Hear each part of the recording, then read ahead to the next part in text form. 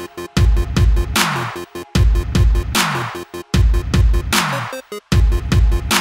you.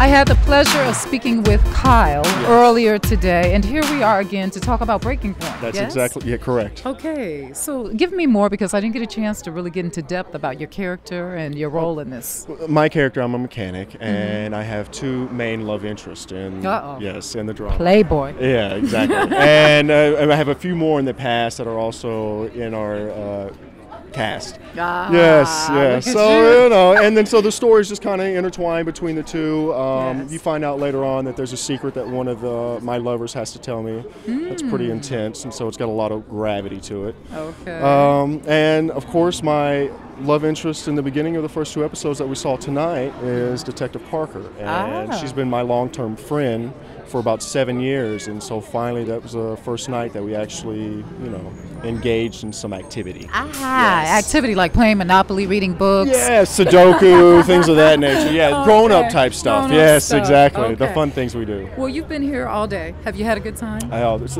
it's been wonderful. Wonderful. Speechless. That's how fun it's been. Thank yes. you. Thank you. Well, I wish you the best. Thank you very Breaking much. Point Breaking is Point. the name of the web out, yeah. series. Check it out. And this is Kyle, y'all. And he's going to tell you that the LA Web Fest 2011 is the place It's to be. the place to be, definitely. LA Webfest 2011. Come down. We got uh, how many hours tomorrow? Oh, so full full lineup about it. A of yeah, day. all day Beautiful, tomorrow. So y'all come on down, please. yes, thank you. All right, we'll be right back with more.